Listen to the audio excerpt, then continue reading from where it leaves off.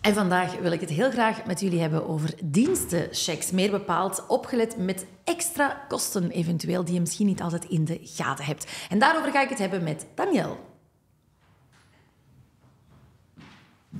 Dag Daniel. Hallo. Dag Doreen. Daniel, dienstenchecks. Heel veel mensen gebruiken het. Ehm, je hebt daar een, een kantoor, of hoe noem je dat, voor nodig, via de welke je dat dan uh, aankoopt. Hè. Um, maar wat kan je daar allemaal zo mee doen? Wel, dienstenchecks is, ik denk, eh, een vrij gekend systeem. Mm Het bestaat ook al, al heel lang en het is eigenlijk een, een goedkope en een, een, wettelijk geregelde manier om huishoudhulp in huis te hebben, zodat, op een manier waarbij alles in orde is. Um, je betaalt die met dienstenchecks. Mm -hmm. uh, er is een bepaald uh, quotum aan dienstenchecks dat je per jaar kan kopen.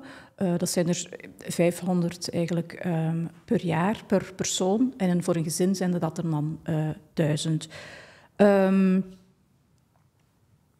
de, de, de prijs daarvan die verschilt per regio. Het is zo dat, dat het, het, algemene systeem bestaat in heel België, maar voor bepaalde kleine puntjes zijn er verschillende regels in de verschillende gewesten. En dat is onder andere voor de prijs zo. Wat Vlaanderen betreft is het zo dat je de eerste 400 uh, dienstenchecks aan 9 euro kan aankopen en dan nog eens 100 aan 10 euro.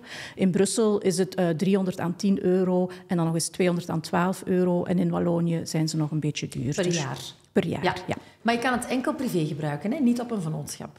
Op nee, een dat klopt. Het is echt iets voor uh, privépersonen. En het kan ook niet als je bijvoorbeeld je woning uh, gedeeltelijk een, een, een uh, zeg maar een dokterspraktijk is of zo, kan je het niet gebruiken om bijvoorbeeld te laten poetsen in de professionele delen van de woning. Ja, voor grote bedrijven zijn er dan andere manieren, ja. hè, om mm -hmm. uh, andere firma's natuurlijk. Um, ja, steeds meer bedrijven vragen extra kosten. Dat betekent niet alleen de kost van die checks, maar daarbovenop nog een soort jaarlijkse kostfee. Hoe mag dat eigenlijk? Uh, het klopt dat dat, dat, dat tegenwoordig um, uh, heel vaak voorkomt. In het begin van het systeem van de dienstenchecks betaalde je voor elk uur dat je huishoudhulp kreeg, betaalde je met één dienstencheck en daarmee was de kous af. Mm -hmm. Maar in de loop van de tijd zijn er steeds meer bedrijven extra kosten gaan aanrekenen. En dat noemt dan administratiekost of, of iets anders, uh, vaak iets, iets nogal vaags. Maar, maar dat is inderdaad iets wat steeds meer voorkomt. We zijn dat over de afgelopen uh, jaren hebben we dat een aantal keer onderzocht. En we hebben dat gezien dat dan 2017 dat dat een, een derde van de bedrijven dat deed. En vijf jaar later dat het uh, ongeveer de helft was. En op dit moment zien we eigenlijk dat voor um, Vlaanderen alle bedrijven het aanrekenen op één na. Dat is uh, domestic services. In Brussel uh, rekenen alle bedrijven extra kosten aan. En Wallonië is nu sinds 1 januari een beetje een geval apart, omdat daar het systeem van extra kosten verboden is. Hmm. Dus daar mogen de Maar hoe rekenen ze die aan? Ze sturen dan een aparte factuur? Ja, er moet inderdaad een aparte factuur van opgemaakt worden. Er zijn een aantal regels waaraan moet voldaan worden om die extra kosten dus te mogen aanrekenen. Het moet, uh, de gebruiker moet daarover duidelijk geïnformeerd zijn. Hij moet daarmee akkoord gaan ook. Er moet een aparte factuur van opgemaakt worden. Het moet ook apart afgerekend worden, dus je mag het niet met dienstenchecks betalen. Ja, ja. Uh, het moet ook gaan om reële kosten die een beetje in verhouding staan tot, uh, tot het geheel van de prijs. En als aan die voorwaarden voldaan is, dan mag dat inderdaad aangerekend worden. Je zei dat er maar één bedrijf is die het niet doet. Mm-hmm. Um, wat zijn dan de kosten, zo gemiddeld extra kosten, die dan uh, aangerekend worden? Ongeveer? Ja, dus dat één bedrijf wat het niet doet, zoals ik zei, dat is die domestic services. Nu, daar moet ik bij zeggen, in Vlaanderen rekenen die geen extra kosten aan. Die zijn ook actief in Brussel en daar rekenen ze wel extra kosten aan. Dus dat is, dat is uh, misschien wel interessant om te weten. Nu, wat het bedrag van de kosten betreft, dat loopt heel erg uiteen bij de verschillende bedrijven. Um, bij ongeveer een derde van de bedrijven is het zo dat ze een bepaald vast bedrag aanrekenen per, per maand of per semester of per jaar. Um, bij veel meer bedrijven is het zo dat er een bepaald bedrag per uur wordt bijgerekend. En dat gaat dan van een halve euro tot anderhalve euro, zeg maar. Met één grote uitschieter, en dat is immens. En die rekenen sinds dit jaar uh, 5 euro per uur extra aan. Dus dat is, zeker als je op jaarbasis gaat bekijken, echt wel een serieus hoog bedrag.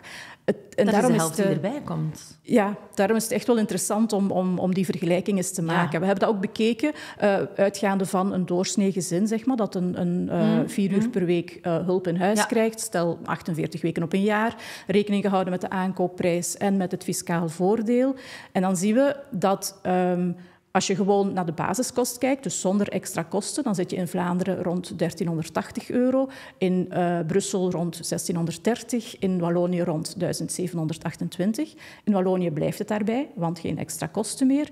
In uh, Vlaanderen en Brussel moet je die extra kost daarbij rekenen en dat zit op een bedrag tussen uh, de 80 euro, dat zijn de goedkoopste bedrijven dan eigenlijk, en de 280 euro per jaar, dus op jaarbasis, met dan de uitschieter waarover ik dan net al sprak, die um, immens, en daar zit je dan per jaar aan 960 euro extra aan kosten. Dus het is toch wel interessant om eens de vergelijking te maken.